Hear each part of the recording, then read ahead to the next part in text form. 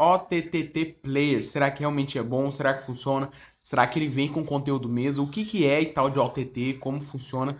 Nesse vídeo trazer informações relevantes para você que quer saber mais, né? Informações sobre esse player, né? Quer saber mais o que, que é o OTT também, tá? Então vou trazer as informações. Além disso, vou trazer uma dica onde você vai ter acesso a mais de 40 mil conteúdos. Ficou curioso? Então esse vídeo aqui vou trazer informações relevantes. Olá galera, meu nome é o Everton. Nesse vídeo falar um pouco sobre OTT. Mas antes de continuar, já deixa o seu like, inscreva no canal, porque isso dá uma moral e ajuda a gente a crescer aqui no YouTube. Vamos lá, o que, que é o OTT Player? Nada mais nada menos ali, né? Ele é um aplicativo player onde você consegue estar assistindo, né? Vários filmes e séries. Ele é um reprodutor de mídia, ou seja, ele vai estar abrindo as suas listas, tá? Se você não sabe, né, na verdade, é, tirando um pouquinho do aplicativo, mas a sigla OTT significa, né, ali realmente é um, é um dos serviços, é, é uma das ferramentas onde as pessoas utilizam para assistir vários filmes e séries.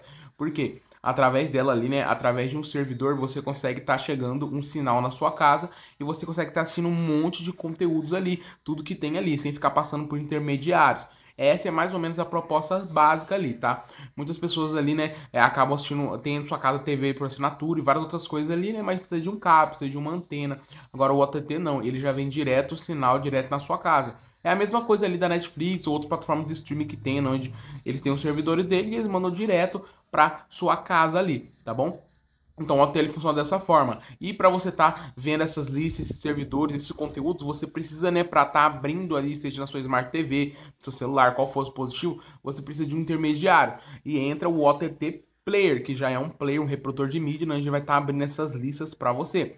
O OTT Player, ele não vem com conteúdos lá dentro, então ele vem limpo, sem nada. O aplicativo ele não vem com nada dentro, ele só vem com ali realmente com a tela inicial. Aí você precisa fazer login, adicionar a sua lista ali do seu provedor, seja uma, uma, uma própria sua, alguma gratuita ou alguma paga, tá? Então você precisa de um servidor, tá? É, e para te ajudar, né, eu tava pesquisando aqui na internet para encontrar o melhor servidor.